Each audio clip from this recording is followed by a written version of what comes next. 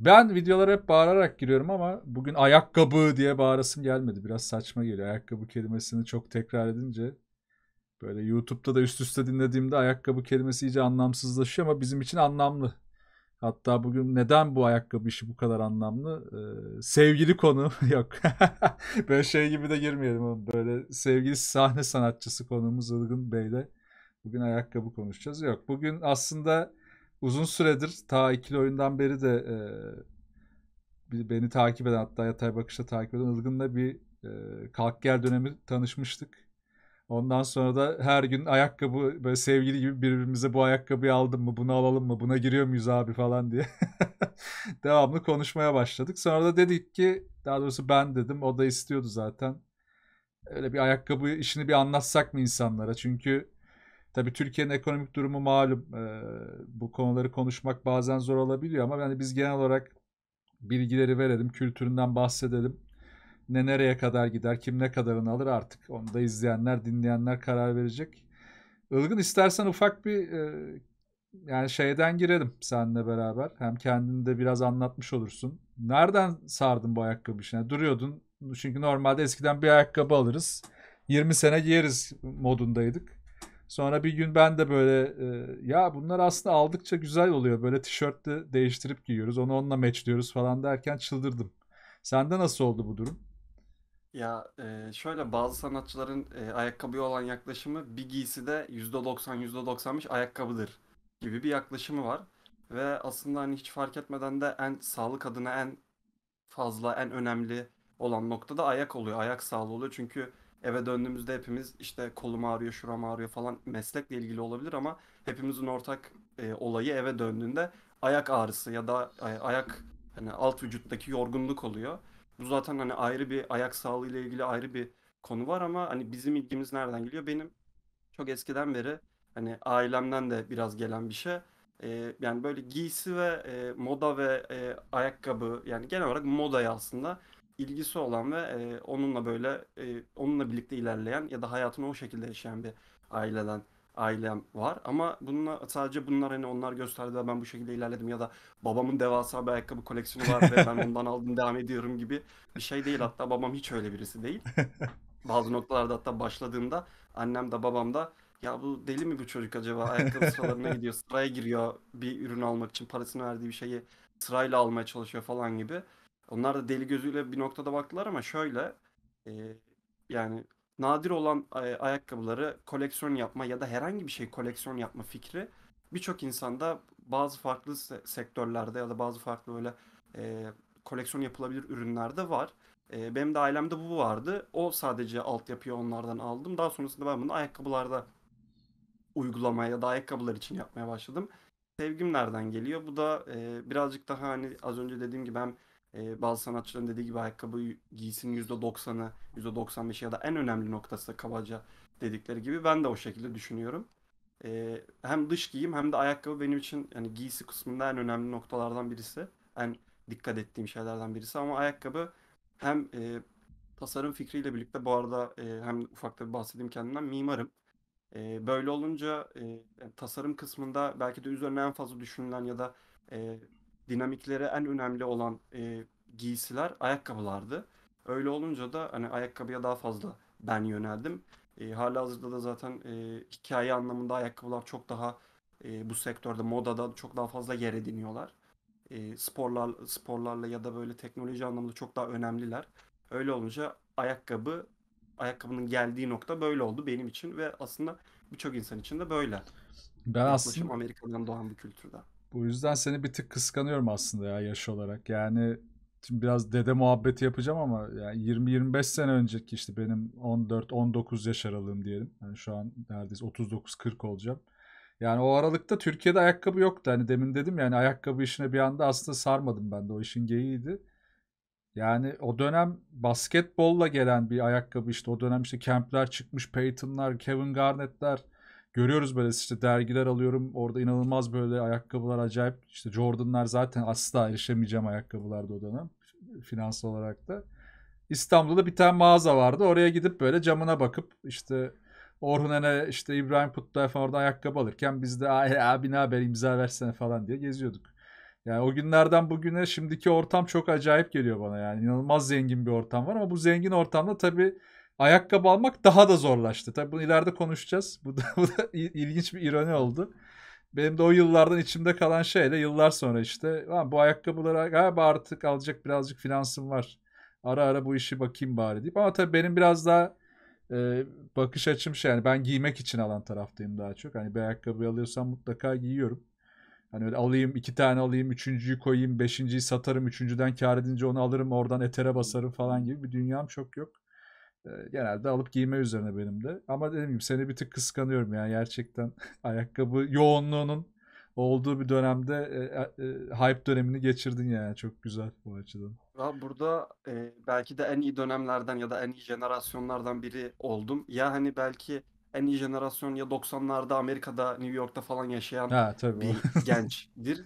E, ikincisi de belki de hani 95, 98, 99 yani 95 ile 2000 arasındaki o dönemdir. Çünkü ben tam üniversite için İstanbul'a taşındığım dönemde bu birazcık daha yoğunlaşmaya bu özellikle de e, bu Virgil Abloh'un yaptığı The Ten koleksiyonuyla bu sokak kültürünün çok daha artı, artmasıyla Fujiwa, e, Hiroshi Fujiwara'nın da etkisiyle bu iki yani anahtar isimle birlikte bu sokak kültürü de büyüyünce ayakkabılara ilgi artınca bu e, sıra olma mevzusu ya da Türkiye'ye ayakkabıların gelmesi e, tam benim de üniversite dönemime denk geldiği için hem fırsat bulup oralara gitmek hem de ufak da bir olsa hani çalışma fırsatıyla e, gelen parayı bu, bu buralarda kullanmak ya da harcayacak parayı da edinebilmek. Çünkü e, vaktim lise öğrencisiyken de vardı ama bu sefer de finansal eksiklikler olduğu için yapamayacaktım.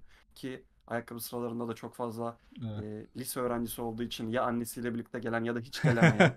Sabah böyle gelip abi ne alıyorsunuz ben de bakayım ya da ya of ben alamadım falan yapıp böyle giden e, gece kaldığımız için orada onu yapamayan çok fazla da insan oluyordu. Bunu yapacak da e, çalıştığı için de gelemeyen çok fazla insan oluyordu. O yüzden e, benim gerçekten dönemim e, ya da benim e, tam denk geldiğim dönem e, üniversite dönemim gerçekten benim çok büyük bir avantajım ki zaten orada e, sırada olan birçok insan ya gerçekten böyle 30-40 yaşında finansal anlamda çok çok rahat olan kendi işinin sahibi insanlar ya da üniversite öğrencileriydi.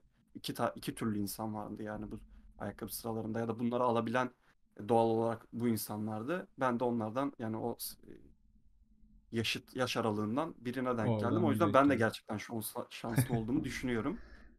Ee, bir de birazcık da hani ilgiyle birlikte bir de bakmayı yani görmeyi, araştırmayı bilmeyle birlikte.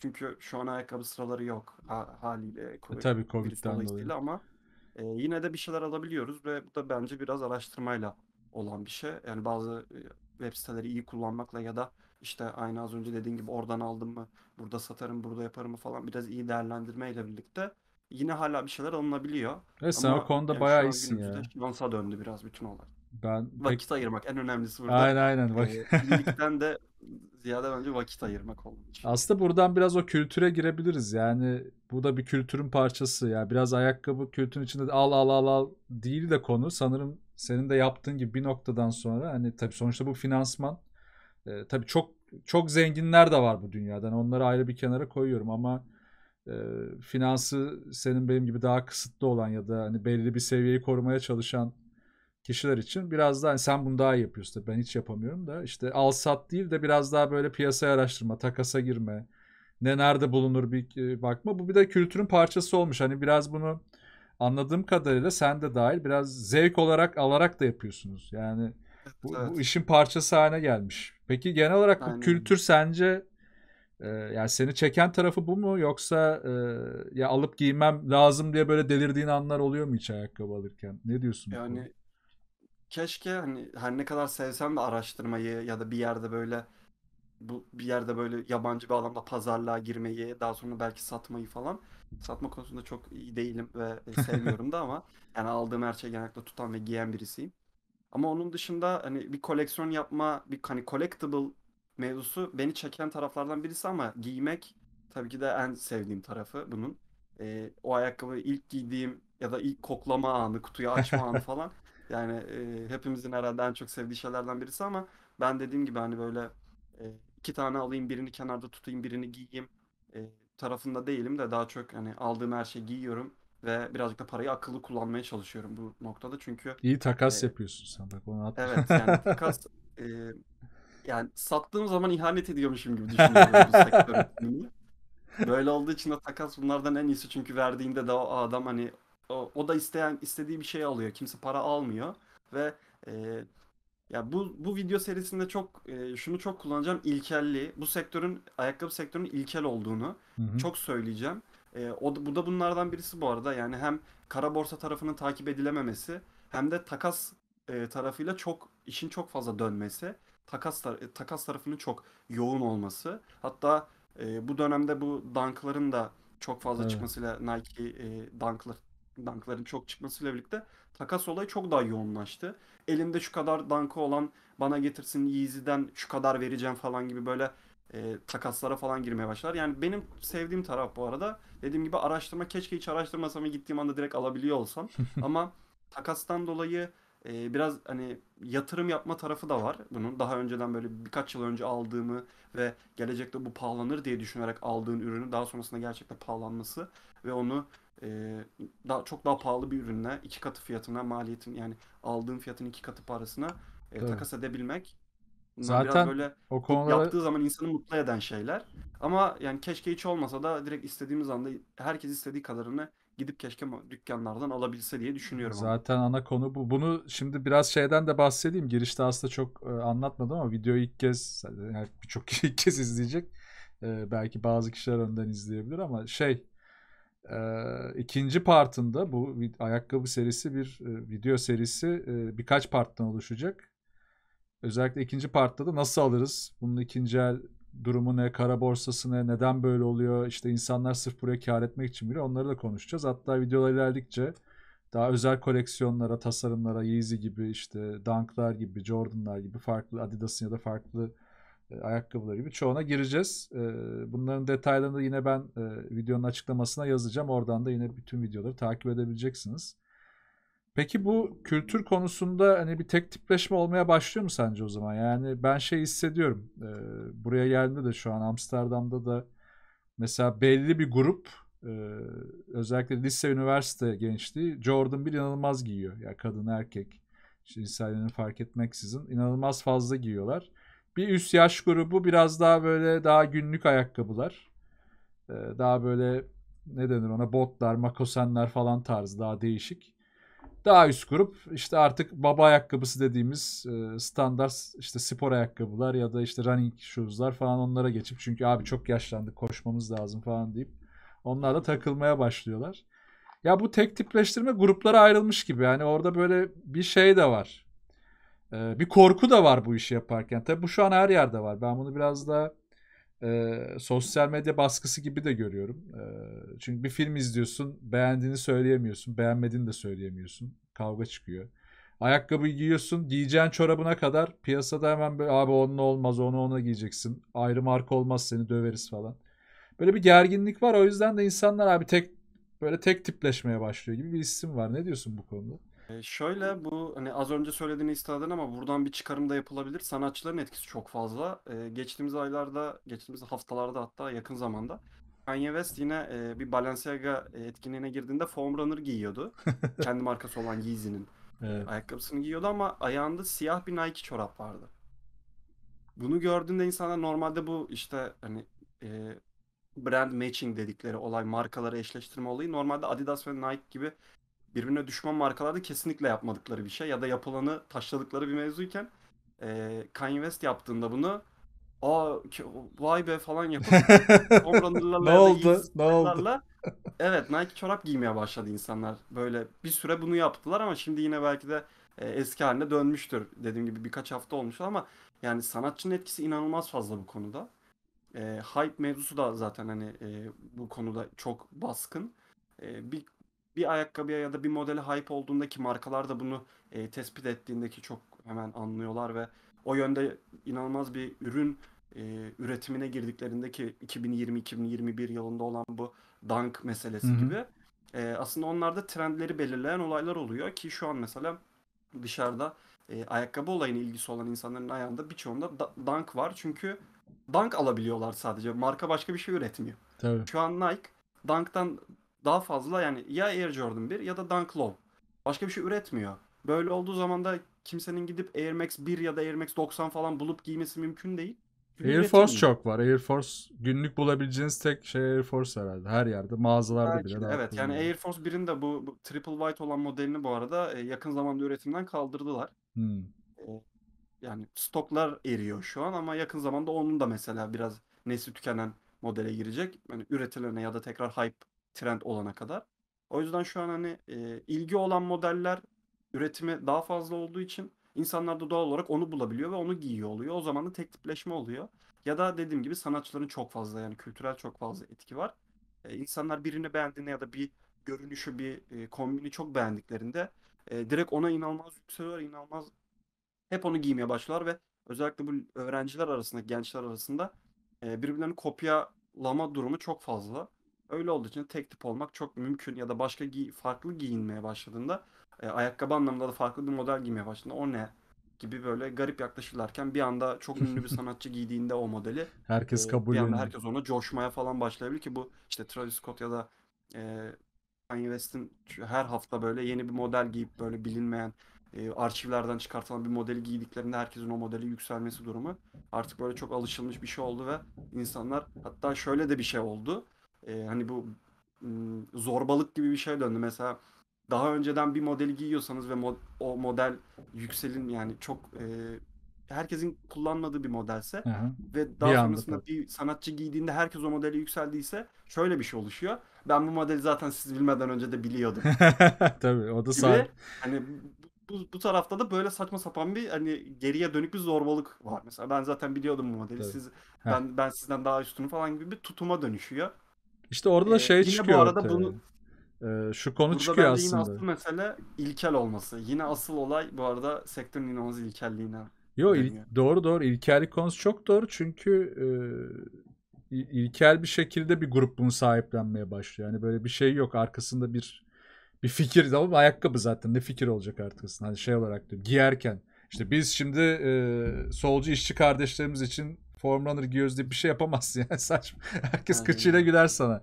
O yüzden buradaki tek şey aslında biraz influence ve e, piyasadaki o sahiplenme yetisi. Yani o zaman da ne oluyor işte bir kitle bunu sahiplenmeye başlayınca sen beğendiğin bir şeyi giymekte de zorlanıyorsun. Çünkü mesela bu yine başka farklı anlarda var. Ben bunu motosiklet sürerken de yaşamıştım. İşte Yamaha MT-07'm vardı. Apache motor olarak. Serseri motor olarak bindiği için ben, benim bindiğimi öğrenince insanlar böyle Allah Allah falan bu da mı it kopuk falan diye bana bakıyorlardı yani. Şimdi ayakkabıda da aynı durum var dediğin gibi. Yani mesela bugün Balenciaga diyorsun. Yani Ben hani çok hoşlanmıyorum. Çok e, tasarımları çok hoşuma gitmiyor. Ama giymek istesem ilk düşüneceğim şey abi bunu giyen tayfa da bir değişik yani bunu giyeceğim de o hemen seni böyle zümreye itiyormuş gibi bir durum var. Ya da e, Evet. Şeyde de aynı durumu yaşayan kesin oluyordur işte Jordan'larda da Yeezy'lerde de yani beğenip itiraf edemeyen, giymeye korkan, çekinen çok kişi oluyor yani. Bu tek tepkileştirmenin tabii biraz sorunu da bu. Ya markalar adına bile var bu arada. Yani bir kişi yani ben, ben benim koleksiyonda marka herhangi bir markanın herhangi bir sınırı şeyi yok ama dışarıdan baktığında e, sanatçıların da atfetmesiyle ya da insanların kendi arasında ben sadece Nike giyerim başka bir marka kesinlikle Ha giymem mesela tenezzül etmiyorum gibi. Halbuki hani e, burada tenezzül etmemesi kalitesiz yapıyor işte kalitesiz ürün giymem gibi bir yaklaşım değil. Ben o markayı giymem gibi bir yaklaşım oluyor insanlarda. Bu da yani işte anlaması güç e, ve yine e, dönüp dolaşıp yine ilkelliğe dönen garip bir mevzu. Evet çok ilginç bir Bu durum da ya. aslında hani e, bir diğer hani bizim konularımızdan sevdiğin markayı sahiplenme, sahiplenen kitle ya da sevdiğin markayı bu denli sahiplenme ve özdeşleştirme kendine ya da illa kendini bir markayı seven gruba ya da o markaya e, o gruba dahil etme ihtiyacı. Yani insanın tabii hani içinden tümüyle e, içgüdüyle hareketinden kaynaklanıyor ve bu hani anlaması gerçekten o kadar zor olmayan ama hani günümüzde hala bu, bu konuyla bunu bunu bu kadar sarılan insanların olması da e, görüldüğünde hele ki bunların böyle genç insanlar olması yani en önemli ve en böyle e, garip noktalardan birisi de bu zaten. Bunlar genç insanlar. Zoomer'lar diyebilir miyiz? Baby zoomer'lar aynen öyle. Bunlar yani e, bu- aslında buradan hareketle e, mesela şu an senin kanalının genel a, tarzı biraz daha film, sinema e, ya da işte dizi, NBA. kitap yani. içerikleri iken bu aslında yaptığımız olay mesela senin kanalının biraz dışında bir içerik olabiliyor.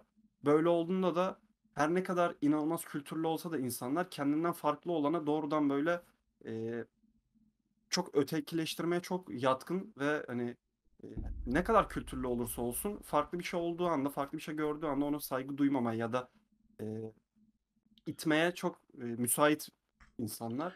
Bu işte dediğim gibi senin her ne kadar NBA içeriği ya da hani sporla ilgili içerikler de üretiyor olsan da e, eminim yani bu konuyla ilgili şu an yaptığımız içeriğde böylesine eleştiren insanlar seni sıkı sıkı takip etmesine rağmen bunu eleştirel, bu, bu konuya eleştirel yaklaşacak. Ya ayakkabı işte giyin geçin şeklinde Evet tabii. e, eleştirecek çok fazla insan var. Yani film işte izleyin geçin biz nasıl demiyorsak o insanların da aslında öyle dememesi ve en önemlisi e, saygı duyması gerekiyor. Ama burada tabii noksanlık var.